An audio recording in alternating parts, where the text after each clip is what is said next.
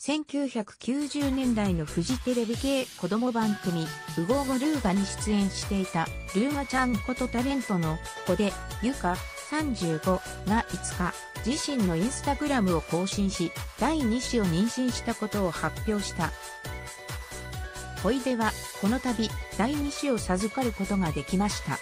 家族が一人増えますますにぎやかやかになることを今から心待ちにしている毎日ですと報告。小出は2015年にデンマーク人の男性と結婚し、現在はデンマークで暮らしており、息子はデンマークで出産したので今回は基本で出産経験ができたらと思っておりますと明かした。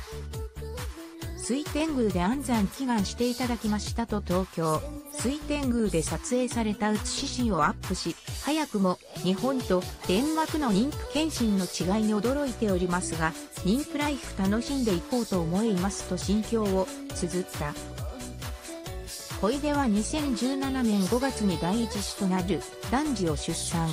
現在はデンマークを4どころ店に日本でも芸能活動を行い、先月サンデー放送のフジテレビ系直撃